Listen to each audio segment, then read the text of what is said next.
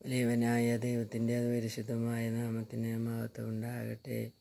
ഇന്ന് പൽക്കാലം നമുക്ക് ചിന്തിക്കുവാൻ വേണ്ടി ദൈവം തരുന്ന തിരുവചനം നൂറ്റി പന്ത്രണ്ടാം സങ്കീർത്തനത്തിന്റെ ആറാം വചനം നമുക്ക് വായിക്കാം.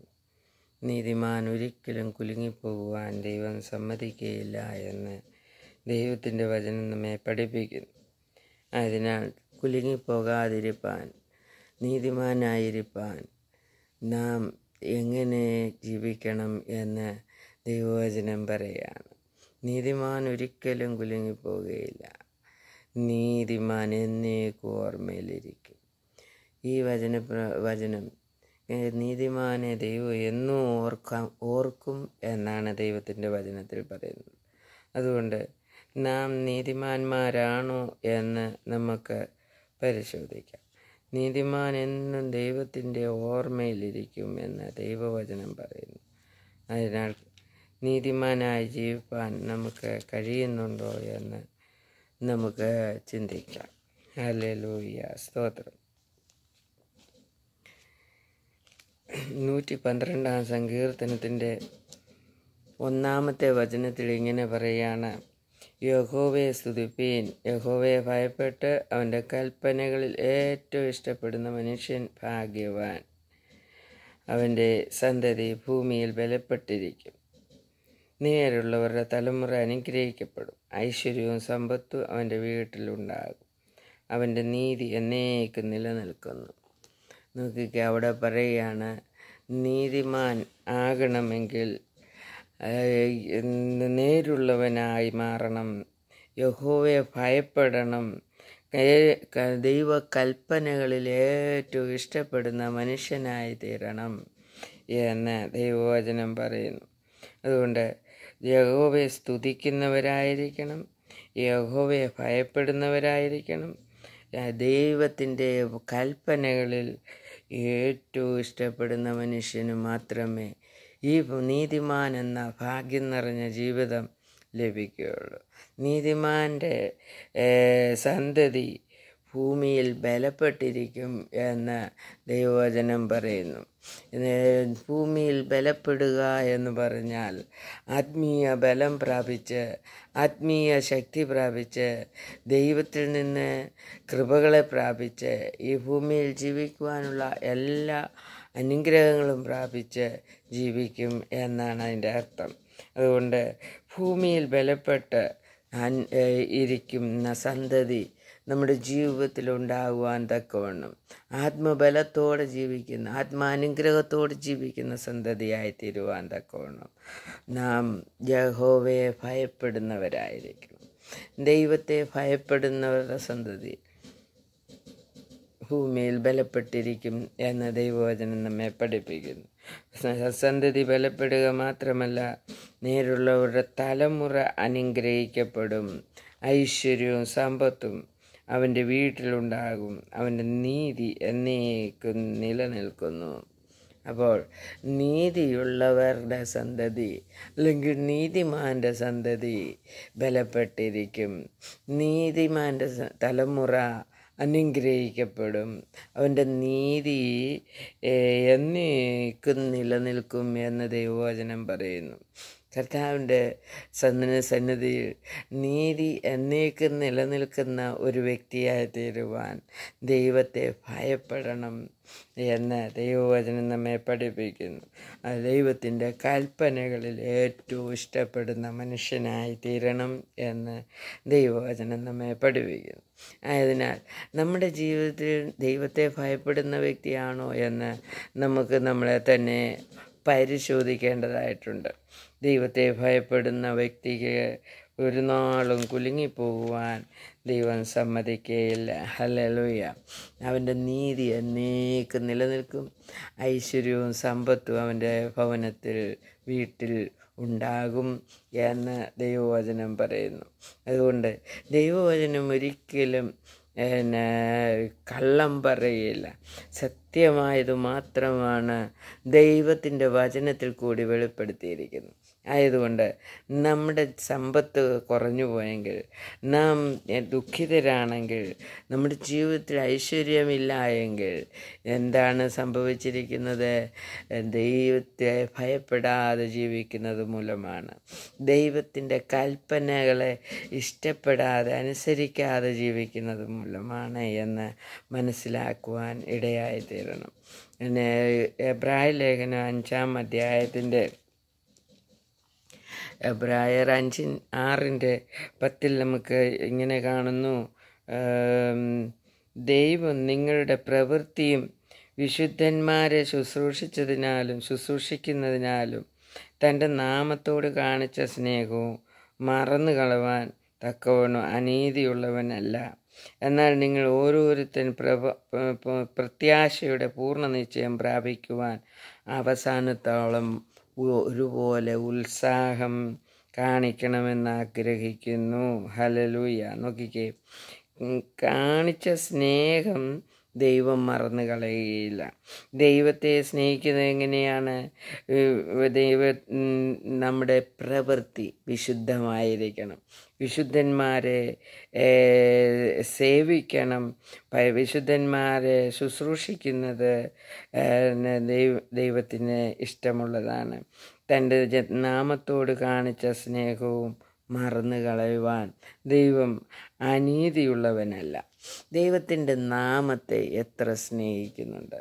സ്നേഹിക്കുക എന്ന് പറഞ്ഞാൽ ദൈവത്തെ ഭയപ്പെടുക. ദൈവത്തെ ദൈവഭക്തി എന്ന് പറഞ്ഞാലും ദൈവത്തെ ദൈവഭയമാണ്. അപ്പോൾ ദൈവത്തെ ഭയപ്പെടുകയും ദൈവത്തെ ഭയപ്പെടുന്നത് എങ്ങനെയാണ്? അവന്റെ കൽപ്പനകൾ അനുസരിക്കുമ്പോഴാണ് നാം ദൈവഭയമുണ്ടെന്ന് ദൈവം നമ്മെ നമ്മെക്കുറിച്ച് പറയുന്നത്. അപ്പോൾ നമുക്ക് ദൈവഭയമുള്ളവരായി മാറണം. എന്നാൽ മാത്രമേ ദൈവം നമ്മെ അനുഗ്രഹിക്കുകയുള്ളൂ. ആത്മീയവും ദൈവം പറയുന്ന ദൈവവചനപ്രകാരം ജീവിക്കണം. ദൈവം നമ്മെ മറക്കത്തില്ല. ദൈവം നമ്മുടെ വേലകളെ മറക്കില്ല. ദൈവം നമ്മുടെ പ്രാർത്ഥനകളെ മറക്കില്ല. എന്നാൽ അത് മറന്നു കളയുന്നത് കാരണം എന്താണ്? നമ്മളിലെ അനീതിയാണ്. നീതിയില്ലാത്ത അവസ്ഥയാണ്. ദൈവം അനീതിയുള്ള ദൈവമല്ല എന്ന് ദൈവവചനത്തിൽ പറഞ്ഞെങ്കിൽ നമ്മുടെ ജീവിതത്തിൽ കഷ്ടവും സങ്കടവും ദുഃഖവും ദാരിദ്ര്യവും പ്രശ്നങ്ങളും ആത്മബലമില്ലാത്തത് കൊണ്ടാണ് ദൈവത്തെ ഭയപ്പെടാത്തത് കൊണ്ടാണ് എന്ന് ദൈവവചനം നമ്മെ പഠിപ്പിക്കുന്നു. അതുകൊണ്ട് നമ്മുടെ ജീവിതത്തിൽ കഷ്ടവും സങ്കടവും വരുമ്പോൾ കഷ്ടം മാറ്റണമേ എന്ന് പ്രാർത്ഥിക്കുന്നതിനേക്കാൾ ഉപരിയായി ദാരിദ്ര്യം മാറ്റണമേ എന്ന് പ്രാർത്ഥിക്കുന്നതിനേക്കാൾ ഉപരിയായി ദൈവഭയം നമ്മുടെ ജീവിതത്തിലേക്ക് വരുവാൻ ഇടയായിത്തീരണം. ദൈവഭയമാണ് ഏറ്റവും ഇമ്പോർട്ടന്റ് ദൈവത്തെ സ്നേഹിക്കുന്നതാണ് ഏറ്റവും ഇമ്പോർട്ടന്റ് എന്ന് ദൈവവചനം പറയുന്നു. ദൈവ നിങ്ങൾ കാണി എന്റെ നാമത്തോട് കാണിച്ച സ്നേഹവും മറന്നു കളയുവാൻ തക്കവണ്ണം ഞാൻ അനീതിയുള്ളവനല്ല എന്ന് ദൈവവചനം പറയുന്നു. നാം ദൈവത്തെ സ്നേഹിച്ചിട്ടുണ്ടെങ്കിൽ ദൈവം അത് മറന്നു കളയുകയില്ല. എന്നാൽ നാം ദൈവത്തെ സ്നേഹിക്കുന്നുണ്ടോ എന്നുള്ളതാണ് ഏറ്റവും വലിയ ഇമ്പോർട്ടന്റ് ആയിട്ടുള്ള കാര്യം. വീണ്ടും അവിടെ പറയുകയാണ് പ്രത്യാശയുടെ പൂർണ നിശ്ചയം പ്രാപിക്കുവാൻ അവസാനത്തോളം ഒരുപോലെ ഉത്സാഹം കാണിക്കണമെന്ന് ഞങ്ങൾ ആഗ്രഹിക്കുന്നു. പ്രത്യാശയുടെ പൂർണ നിശ്ചയം എന്ന് പറയുന്നത് എന്താണ്? നമ്മുടെ നിത്യതയിൽ കർത്താവിനോടൊപ്പം വസിക്കുന്നതാണ് പ്രത്യാശയുടെ പൂർണത. നമ്മുടെ പ്രത്യാശയുടെ പൂർണത പ്രാപിക്കണമെങ്കിൽ ഒരുപോലെ ഉത്സാഹം കാണിക്കുന്നവരായിരിക്കണം. ഏതിൽ പ്രാർത്ഥനയിൽ ദൈവവചന അനുസരിക്കുന്നതിൽ ദൈവനാമത്തെ സ്നേഹിക്കുന്നതിൽ ദൈവത്തെ ശുശ്രൂഷിക്കുന്നതിൽ ദൈവത്തെ ഭയത്തോടുകൂടി സേവിക്കുന്നതിൽ ഒക്കെയും പൂർണ നിശ്ചയം പ്രാപിക്കണം എന്ന് ദൈവവചനം പറയുന്നു. ഒരുപോലെ ഒരുപോലെ പൂർണ നിശ്ചയം എന്ന് വെച്ചാൽ ആദ്യം സ്റ്റാർട്ട് ചെയ്തതുപോലെ തന്നെ അവസാനം മരിക്കുന്നത് വരെയും ആ ഉത്സാഹം നമ്മുടെ ജീവിതത്തിൽ ഉണ്ടാകണം. ഓരോരുത്തൻ പ്രത്യാശയുടെ പൂർണ നിശ്ചയം പ്രാപിക്കുവാൻ അവസാനത്തോളം ഒരുപോലെ ഉത്സാഹം കാണിക്കണം എന്ന് ദൈവവചനം പറയുന്നു. നമ്മുടെ ഉത്സാഹം കുറഞ്ഞു പോകുന്നുണ്ടോ? കുറഞ്ഞു പോകുന്നുണ്ടെങ്കിൽ അതിനെ നാം വർദ്ധിപ്പിക്കുവാനായിട്ട് ദൈവസന്നിധി ദൈവത്തിന്റെ നാമത്തെ സ്നേഹിക്കുന്ന കൽപ്പനകളെ അനുസരിക്കുന്ന ഒരു അവസ്ഥയിലേക്ക് നാം ആയിത്തീരണം എന്ന് ദൈവവചനം പറയുന്നു. നീ അൻപത്തി അഞ്ചാം സങ്കീർത്തനത്തിൽ പറയുകയാണ് അൻപത്തഞ്ചാം സങ്കീർത്തനത്തിൽ ഇങ്ങനെ പറയുന്നു.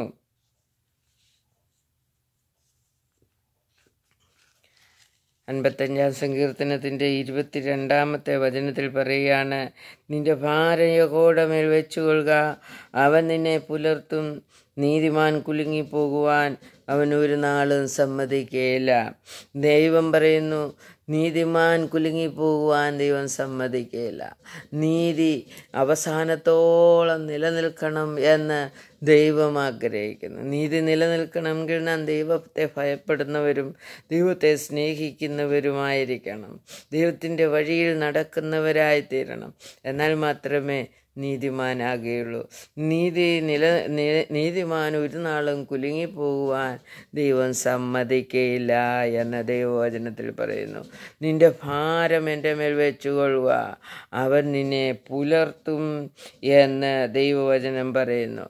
നമ്മുടെ ഭാരം ദൈവം ഏറ്റെടുക്കണമെങ്കിൽ നീതിമാനായ ദൈവം അശുദ്ധരുടെ ഭാരം ഏറ്റെടുക്കുകയില്ല നീതിമാനായ ദൈവം നീതിയുള്ളവരുടെ ഭാരം മാത്രമേ ഏറ്റെടുക്കുകയുള്ളൂ. അതുകൊണ്ട് നീതിമാൻ കുലുങ്ങിപ്പോവുകയില്ല നിന്റെ ഭാരം എന്റെ മേൽ വെച്ചു കൊള്ളുക നമ്മൾ ദൈവത്തിന്റെ കരങ്ങളിലേക്ക് നമ്മുടെ ഭാരം വയ്ക്കുമ്പോൾ എന്ത് ചെയ്യണം?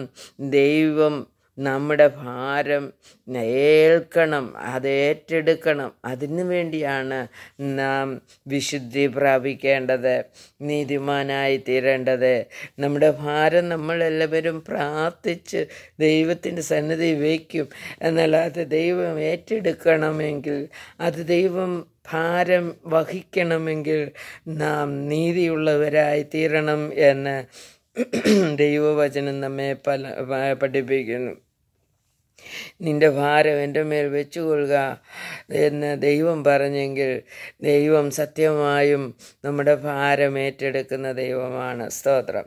അതുകൊണ്ട് നമ്മുടെ ഭാരം ദൈവത്തിൽ വയ്ക്കുവാൻ ദൈവം നമ്മുടെ ഭാരത്തെ ഏറ്റെടുത്തുകൊണ്ട് ദൈവം നമ്മെ പുലർത്തുവാൻ തക്കവണ്ണം നമ്മുടെ ജീവിതത്തെ നാം ഒരുക്കിയിട്ടുണ്ടോ ഒരുക്കുന്നുണ്ടോ എന്ന് നമുക്ക് നമ്മളെ തന്നെ പരിശോധിക്കാം. അറുപത്തി രണ്ടാമത്തെ സങ്കീർത്തനത്തിന്റെ ആറാം വചനത്തിൽ ഇങ്ങനെ പറയുകയാണ് അവൻ തന്നെ എന്റെ പാറി എന്റെ രക്ഷയുമാകുന്നു എന്റെ ഗോപുരം അവൻ തന്നെ ഞാൻ കുലുങ്ങുകയില്ല. ഹലലുയ അവൻ തന്നെ എന്റെ പാറയും എന്റെ രക്ഷയുമാകുന്നു. എന്റെ ഗോപുരവനാകുന്നു. ഞാൻ കുലുങ്ങുകയില്ല. ദൃഢനിശ്ചയം പ്രാപിച്ച ദൈവഭക്തൻ പ്രാർത്ഥിക്കുകയാണ്. അവനാണ് ദൈവമാണ്. എന്റെ പാറ എന്റെ രക്ഷ എന്റെ ഗോപുരം അവൻ തന്നെയാണ് എന്ന് പറഞ്ഞ് പ്രാർത്ഥിച്ചിട്ട് പറയാണ് ഞാൻ ഒരിക്കലും കുലുങ്ങിപ്പോവുകയില്ല ഹലലൂയ അത് പറയാൻ പൂർണ നിശ്ചയം പ്രാപിച്ചതിന്റെ കാരണം ആ ഭക്തൻ നീതിമാനാണ് എന്ന് നമുക്ക് മനസ്സിലാക്കാൻ കഴിയുന്നു. അതുകൊണ്ട് നമ്മൾ കുലുങ്ങിപ്പോകുന്നെങ്കിൽ എന്തുകൊണ്ടാണ് നമ്മൾ നീതിയുള്ളവരല്ല എന്ന് ദൈവവചനം പറയുന്നു. പതിനഞ്ചാമത്തെ വചന അധ്യായത്തിൽ സങ്കീർത്തനം പതിനഞ്ചാം അധ്യായത്തിന്റെ അഞ്ചാം വചനത്തിൽ ഇങ്ങനെ പറയുകയാണ് തന്റെ ദ്രവ്യം പലിശയ്ക്ക് കൊടുക്കാതെ കുറ്റമില്ലാത്തവന് വിരോധമായി കൈക്കൂലി വാങ്ങാതെ ഇരിക്കുന്നവൻ ഇങ്ങനെ ചെയ്യുന്നവൻ ഒരു നാളും കുലുങ്ങിപ്പോകുകയില്ല. ഹലലൂയ ദ്രവ്യം പലിശയ്ക്ക് കൊടുക്കാതെ കുറ്റമില്ലാത്തവന് വിരോധമായി കൈക്കൂലി വാങ്ങാതെ കുറ്റമില്ലാത്തവന് കുറ്റമുള്ളവനാണ് എന്ന് നാം ആരോപിക്കുന്നുവെങ്കിൽ നാം നീതിമാനല്ല. ഒരു കുറ്റമില്ലാത്ത വ്യക്തിയെ കുറ്റമുള്ള വ്യക്തിയാണ് എന്ന് ആരോപിക്കുന്നവൻ. ഒരിക്കലും നീതിമാനല്ല എന്ന് ദൈവവചനം പറയുന്നു. ആ നീതിമാനല്ലാത്തത് കൊണ്ട് അവൻ കുലുങ്ങിപ്പോകും. കുറ്റമില്ലാത്ത വ്യക്തിയോട് ചേർന്ന് നിൽക്കുവാൻ നമുക്ക് കഴിയുന്നില്ല എങ്കിൽ ഒരു ദോഷവും ചെയ്യാത്ത വ്യക്തിക്ക് അനുകൂലമായി നിൽക്കുന്നില്ല എങ്കിൽ നാം നീതിമാനല്ല നമ്മുടെ ജീവിതത്തിൽ കുലുക്കമുണ്ടാകും എന്ന് ദൈവവചനം പറയുന്നു. ഹലലൊയ്യ അതുകൊണ്ട് നാം നാം കുറ്റമില്ലാത്തവനെ കുറ്റം വിധിക്കാൻ വിധിക്കുന്നവരോട് ചേർന്ന് നിൽക്കാൻ ഇടയാകരുത് എന്ന് ദൈവവചനം നമ്മെ പഠിപ്പിക്കുന്നു. സ്തോത്രം. ഹലലൂയ അതുകൊണ്ട് ദൈവസന്നിധിയിൽ നാം നീതിയുള്ളവരായി നമ്മുടെ ജീവിതം കുലുക്കമില്ലാത്തതായി തീരണമെങ്കിൽ എല്ലാ പ്രശ്നങ്ങളിൽ നിന്നും വിടുതൽ പ്രാപിക്കണമെങ്കിൽ നാം ദൈവവചനമനുസരിച്ച് ജീവിക്കണം. നൂറ്റി ഇരുപത്തഞ്ചാം അധ്യായ സങ്കീർത്തനത്തിന്റെ ഒന്നാമത്തെ വചനത്തിൽ പറയുകയാണ് യഹൂവിൽ ആശ്രയിക്കുന്നവൻ കുലുങ്ങുവാ കുലുങ്ങാതെ എന്നേക്ക് നിലനിൽക്കുന്ന സിയോൻ പർവതം പോലെയാണ്. ഹലലൂയ കുലുങ്ങാതെ നിൽന്ന് നിൽക്കണമെങ്കിൽ ദൈവത്തിൽ നീതിമാനായി ജീവിച്ച് ആശ്രയിക്കുന്ന വ്യക്തിയായി തീരണം. നീതിമാൻ ആശ്രയിക്കുന്ന ആ ദൈവത്തിൽ ആശ്രയിക്കുമ്പോൾ അവൻ കുലുങ്ങുകയില്ല. ദൈവത്തിൽ ഇന്ന് ലോകത്തിലുള്ള എല്ലാവരും ആശ്രയിക്കുന്നുണ്ട്. എന്നാൽ എത്ര നീതിയുള്ളവരാണ് എന്നുള്ളതാണ് നാം മനസ്സിലാക്കേണ്ടത്. ആശ്രയിക്കുന്ന എല്ലാവരും കുലുക്കമുള്ളവരാണ്. എന്നാൽ കുലുക്കം വരുന്നതിന്റെ കാരണം നീതിയോടെ ദൈവത്തിൽ ആശ്രയിക്കാത്തതാണ് എന്ന് നമുക്ക് ഇവിടുന്ന് മനസ്സിലാക്കുവാൻ കഴിയുന്നു. അതുകൊണ്ട് ദൈവത്തിന് ദൈവം പറയുന്നു നീതിമാൻ കുലുങ്ങി പോകുവാൻ ദൈവം സമ്മതിക്കുകയില്ല അതുകൊണ്ട് ദൈവത്തിന്റെ സന്നിധിയിൽ നാം എത്രത്തോളം നീതിയുള്ളവരാണ് എന്ന് ദൈവം നമ്മെ നീതിമാനെന്ന് പറയുവാൻ തക്കവണ്ണം നാം നമ്മുടെ ജീവിതയാത്രയിൽ നാം ഒരുപോലെ ഉത്സാഹമുള്ളവരായിരിക്കണമെന്ന് ദൈവം നമ്മെ പഠിപ്പിക്കുന്നു. ഒന്ന് രണ്ട് പത്രോസ് ഒന്നാം അധ്യായത്തിന്റെ അഞ്ചാം വചനത്തിൽ പറയുകയാണ് തന്നെ അത് നിമിത്തം തന്നെ നിങ്ങൾ സകല ഉത്സാഹവും കഴിച്ച് നിങ്ങളുടെ വിശ്വാസത്തോട് വീര്യവും വീര്യത്തോട് പരിജ്ഞാനവും പരിജ്ഞാനത്തോട് ഇന്ദ്രിയജയവും ഇന്ദ്രിയജയത്തോട് സ്ഥിരതയും സ്ഥിരതയോട് ഭക്തിയും ഭക്തിയോട് സഹോദരപ്രീതിയും സഹോദരപ്രീതിയോട് സ്നേഹവും കൂട്ടിക്കൊള്ളുവീൻ. ഹലലൂയ്യ അപ്പം നോക്കിയ അവിടെ ദൈവം വിശ്വാസമുള്ള ഒരു നീതിയുള്ള ഒരു വ്യക്തിയോട് പറയുന്നത് വീര്യത്തോട് വീര്യത്തോട് വിശ്വാസത്തിന്റെ വീര്യം വർദ്ധിക്കണം എന്നവിടെ എഴുതിയിരിക്കുന്നു.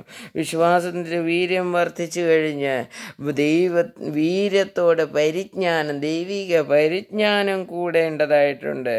പരിജ്ഞാനത്തോട് ഇന്ദ്രിയ ജയമുണ്ടാകണം. കാണുന്നതെല്ലാം നേടുവാൻ കാണുന്നതെല്ലാം വേണമെന്ന് ആഗ്രഹിക്കുവാൻ കാണുന്നതെല്ലാം ചെയ്യുവാൻ ഇടയാകരുത്. അതാണ് ഇന്ദ്രിയ ജയം എന്ന് പറയുന്നത്.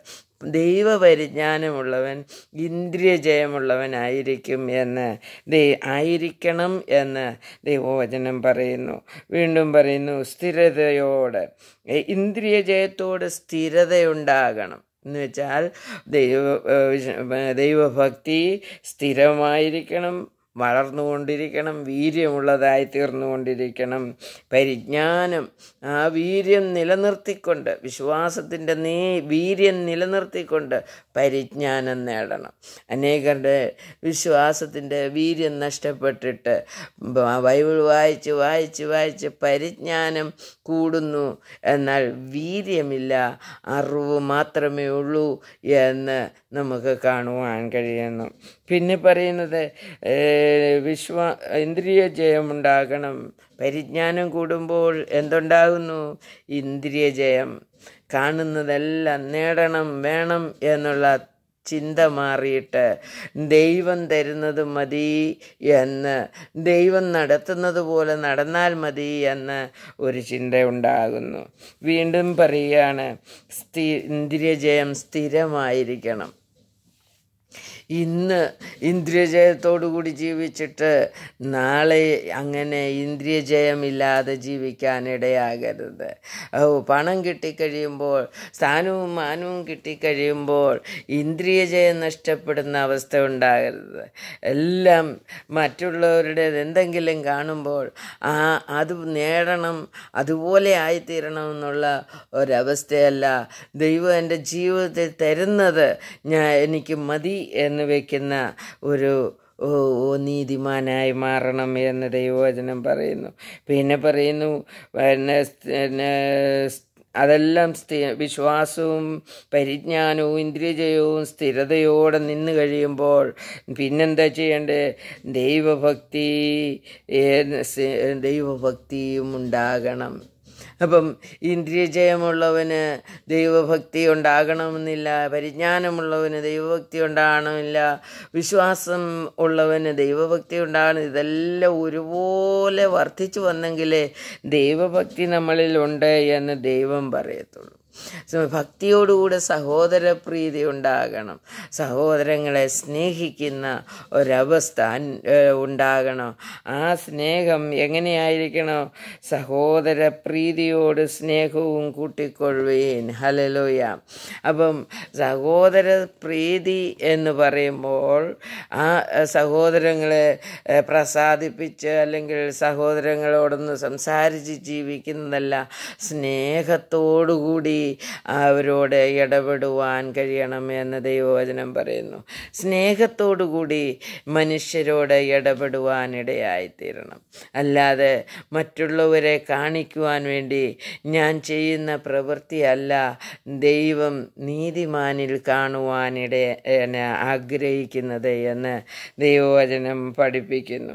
അതിനാൽ ദൈവവചന പ്രകാരം നമ്മുടെ ജീവിതത്തെ ഒരുക്കുവാനിടയായതിനും അത്താഴ്ച സുവിശേഷം ഇരുപത്തഞ്ചാം അധ്യായത്തിന്റെ മുപ്പത്തിനാലാമത്തെ വചനത്തിൽ പറയുകയാണ് രാജാവ് തന്റെ വലത്തുള്ളവരോട് അരളി ചെയ്തു എന്റെ പിതാവിനാൽ അനുഗ്രഹിക്കപ്പെട്ടവരെ വരുവീൻ.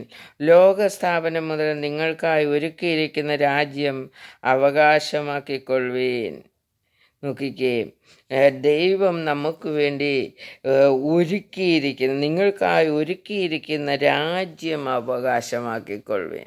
ലോകസ്ഥാപനം മുതൽ ദൈവം തന്റെ ജനത്തിന് വേണ്ടി തന്റെ നീതിമാന് വേണ്ടി ദൈവം ഒരുക്കിയിരിക്കുന്ന ആ രാജ്യം പ്രാപിപ്പിക്കാനാണ് നാം ഉത്സാഹത്തിൽ എന്നും ഒരുപോലെ നിലനിൽക്കണം എന്ന് ദൈവം നമ്മെ പഠിപ്പിക്കുന്നത്.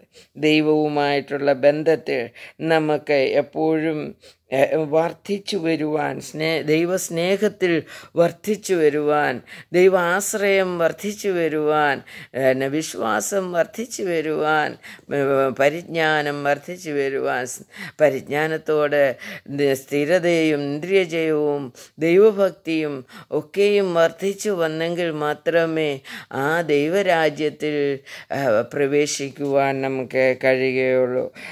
അനുഗ്രഹിക്കപ്പെട്ട പിതാവിനാൽ അനുഗ്രഹിക്കപ്പെട്ടവരെ വരുവീൻ. ഹലലുയ അപ്പോൾ അനുഗ്രഹം പ്രാപിക്കുന്നത് ആരാണ്? രാജ്യത്തിനായി ഒരുങ്ങി നിൽക്കുന്ന വ്യക്തികൾ അനുഗ്രഹം പ്രാപിക്കും. ദൈവരാജ്യത്തിൽ പ്രവേശിക്കുവാൻ വേണ്ടി ഈ ഭൂമിയിൽ ഒരുക്കത്തോടെ നിൽക്കുന്ന മക്കൾ അനുഗ്രഹിക്കപ്പെടും. ആ ദൈവത്താൽ അനുഗ്രഹിക്കപ്പെട്ടവർ മാത്രമേ ദൈവം നമുക്ക് ലോകസ്ഥാപനം മുതൽ ഒരുക്കി വച്ചിരിക്കുന്ന ആ സ്വർഗീയമായ രാജ്യം പ്രാപിക്കുവാൻ കഴിയുകയുള്ളൂ എന്ന് ദൈവവചനം പറയുന്നു. സ്തോത്രം. അതുകൊണ്ട് ദൈവരാജ്യം പ്രാപിപ്പാൻ നാം ഒരുക്കമുള്ളവരാണോ? നാം അതിനായി ഒരുങ്ങി ജീവിക്കുന്ന വ്യക്തിയാണോ എന്ന് ദൈവം ഇന്ന് നമ്മളോട് ചോദിക്കുകയാണ്. സ്തോത്രം. നമുക്ക് ഒരുക്കമുണ്ടെങ്കിൽ മാത്രമേ നമുക്കത് പ്രാപിക്കുവാൻ കഴിയുള്ളൂ. നാം എല്ലാ വിധത്തിലും ദൈവവചനപ്രകാരം വളർന്ന് നീതിമാനായെങ്കിൽ മാത്രമേ സ്വർഗരാജ്യത്തിന് അവകാശം പ്രാപിക്കുവാൻ നമുക്ക് കഴിയുള്ളൂ. നെഹമ്യ പ്രവചനം നമ്മൾ വായിച്ചാൽ അതിന്റെ പതിമൂന്നാം അധ്യായത്തിന്റെ ഇരുപത്തിരണ്ടാമത്തെ വചനത്തിൽ പറയുകയാണ് അവർ ലേവിയരോ ലേവ്യരോട് ഞാൻ ശബത്ത് നാളിനെ വിശുദ്ധീകരിക്കേണ്ടതിന് തങ്ങളെ തന്നെ വിശുദ്ധീകരിക്കുകയും വന്നു വാതിലുകളെ കാക്കുകയും ചെയ്യുവാൻ കൽപ്പിച്ചു. എന്റെ ദൈവമേ ഇത് എനിക്കായി ഓർത്ത് നിന്റെ മഹാദയപ്രകാരനോട് കനിവ് തോന്നണമേ. അവിടെ പറയുന്നു ലേവിയർക്ക് മാത്രമേ ശബത്ത് നാളിനെ ശുദ്ധീകരിക്കുവാനും വാതിൽ കാവൽക്കാരനായി നിൽക്കുവാനും കഴിയുള്ളൂ എന്ന് ദൈവം പറയും അതിന്റെ മുകളിൽ നമ്മൾ വായിക്കുമ്പോൾ പലരും വാതിലുകളിൽ വന്ന് നിൽക്കുകയാണ്. വാതിൽ കാക്കുവാൻ വന്ന് നിൽക്കുകയാണ്. പ്രാർത്ഥനയില്ലാതെ വിശുദ്ധീകരണം ഇല്ലാതെ വാതിൽ കാവൽക്കാരായി നിൽക്കുന്ന അനേകരെ അവിടെ നിന്ന് മാറ്റിക്കളയുന്നതായിട്ട് നമുക്ക് കാണുവാൻ കഴിയുന്നുണ്ട്. അപ്പോൾ ദൈവം ആഗ്രഹിക്കുന്ന രീതിയിൽ വിശുദ്ധീകരണം പ്രാപിക്കാത്ത വ്യക്തികളെ ആ ശബത്ത് നാളിലെ അല്ലെങ്കിൽ സ്വർഗീയ സ്വർഗീയ വാതിലിൽ നിൽക്കുവാൻ ദൈവം സമ്മതിക്കുന്നില്ല എന്ന് നമുക്കവിടെ കാണുവാൻ കഴിയുന്നുണ്ട്. അതുകൊണ്ട് അവരെ മാറ്റിയിട്ടാണ് ലേവ്യരോട് ദൈവം പറയുന്നത് നിങ്ങൾ ഈ വാതിൽ കാവൽക്കാരായി നിൽക്കണം എന്ന് പറയുന്നത്. അതുകൊണ്ട് നമുക്കും അപ്രകാരം ഒരു പിന്നെ ദൈവിക വിശുദ്ധീകരണം നമ്മുടെ ജീവിതത്തിൽ ഉണ്ടാകണം. ദൈവം നമ്മളെ വിളിച്ച് വാതിൽ കാവൽക്കാരനായി നിർത്തുന്ന ഒരനുഭവം നമ്മുടെ ജീവിതത്തിൽ ഉണ്ടാകണം. അതിന്റെ മു പതിമൂന്നാം അധ്യായത്തിന്റെ മുപ്പത്തൊന്നാമത്തെ വചനത്തിൽ പറയുകയാണ് മുപ്പതും കൂടെ വായിക്കാം. ഇങ്ങനെ ഞാൻ അന്യമായതൊക്കെ നീക്കി അവരെ ശുദ്ധീകരിക്കുകയും പുരോഹിതന്മാർക്കും ലേബർക്കും ഓരോരുത്തരത്തിനു താൻ താന്റെ വേലയിൽ ശുശ്രൂഷാക്രമം നിശ്ചയ സമയങ്ങൾക്ക് വിറകു വഴിപാടും ആദ്യഫലം നിയമിക്കുകയും ചെയ്തു. എന്റെ ദൈവമേ ഇതെനിക്ക് നന്മയ്ക്കായിട്ട് ഓർക്കണമേ. ഹലലുയ ദൈവം എല്ലാവർക്കും അതാത് വേല കൊടുത്തിട്ട് ആ വേലയിൽ നിർത്തിയിരിക്കുമ്പോൾ ആ ഭക്തൻ പ്രാർത്ഥിക്കുകയാണ് എന്റെ ദൈവമേ ഇതെനിക്ക് നന്മയ്ക്കായിട്ട് ഓർക്കണമേ. നമ്മൾ ചെയ്യുന്ന ഓരോ പ്രവൃത്തിയും നമ്മൾക്ക് നന്മയ്ക്കായിട്ട് ദൈവം ഓർക്കുവാനിടയായത് ഏത് നന്മയ്ക്ക് വേണ്ടിയാണ്? ഈ ലോകത്തിൽ ദൈവം പറഞ്ഞ രീതിയിലെല്ലാം ചെയ്തു കഴിഞ്ഞിട്ട് ആ ഭക്തൻ പ്രാപിക്കുകയാണ്. ഇതെനിക്ക് നന്മയ്ക്കായിട്ട് ഓർക്കണമേ എന്ന് പ്രാർത്ഥിക്കുകയാണ്. ആ നന്മ ഏതാണ്? ദേ സ്വർഗരാജ്യം പ്രാപിക്കുന്നത് നിത്യരാജ്യം പ്രാപിക്കുന്ന ആ നന്മയ്ക്കായിട്ട് ഓർക്കണമേ എന്ന് പിന്നെ ഭക്തൻ പ്രാർത്ഥിക്കുകയാണ്. നമ്മൾ ഈ ലോകത്ത് ചെയ്യുന്ന എല്ലാ ദൈവപ്രവൃത്തിയും ദൈവവേലയും ദൈവത്തിന്റെ ഹിതം നിറവേറ്റുന്നതും ഒരിക്കൽ നന്മയ്ക്കായിട്ട് ആയിത്തീരുവാൻ അല്ലെങ്കിൽ നമ്മുടെ നി കർത്താവിന്റെ രണ്ടാമത്തെ വരവിൽ നമുക്ക് ആ നിത്യജീവനിൽ പ്രവേശിക്കുവാൻ തക്കവണ്ണം നാം ആയിത്തീരണം. അതിനായിട്ട് നാം എന്ത് ചെയ്യണം? ഈ ഭൂമിയിലെ ജീവിതത്തിൽ നീതിമാന്മാരായി മാറണം എന്ന് ദൈവം നമ്മെ പഠിപ്പിക്കുകയാണ്. നമ്മൾ ഈ ഭൂമിയിൽ നീതിമാന്മാരായി ജീവിക്കുന്നില്ല എങ്കിൽ ഈ ഭൂമിയിൽ കുലുക്കമുള്ള ജീവിതം ഭാരം നിറഞ്ഞ ജീവിതം കഷ്ടത നിറഞ്ഞ ജീവിതമായിരിക്കും. എന്നാൽ എന്നാൽ നീതിമാനായി ജീവിക്കുന്നെങ്കിൽ ഈ ഭൂമിയിൽ നമ്മുടെ കഷ്ടത നീങ്ങിപ്പോവുകയും കുലുക്കം മാറിപ്പോവുകയും ഭാരം നീങ്ങിപ്പോവുകയും എല്ലാ ചെയ്തിട്ട് ലാസ്റ്റിൽ നിത്യജീവന് അവകാശികളുമായി തീരുവാൻ ഇടയായി തീരും എന്ന് ദൈവവചനം നമ്മെ പഠിപ്പിക്കുന്നു. അതിനാൽ ഈ വചനം നമ്മളെ നിത്യജീവനിലെത്തിക്കുവാൻ ഇടയായി തീരട്ടെ എന്ന് പ്രാർത്ഥിച്ചുകൊണ്ട് ദൈവവചനത്തിൽ നിന്ന് വിരമിക്കുന്നു. ദൈവം നമ്മെ എല്ലാവരെയും അനുഗ്രഹിക്കുമാറാകട്ടെ. ആമീൻ. സ്തോത്രം. ദൈവത്തിന്റെ സന്നിധിയിൽ ദൈവം നമ്മെ ഓർക്കുന്ന വ്യക്തിയായി തീരുവാൻ ഈ വചനം എല്ലാവരെയും സഹ സഹായിക്കട്ടെ. നമുക്ക് ഈ വചനം ഷെയർ ചെയ്ത് കൊടുക്കാം. എല്ലാവർക്കും ഷെയർ ചെയ്യണം. ഈ ചാനൽ നിങ്ങളെല്ലാവരും സബ്സ്ക്രൈബ് ചെയ്യണം. ദൈവം എല്ലാവരെയും അനുഗ്രഹിക്കുമാറാകട്ടെ.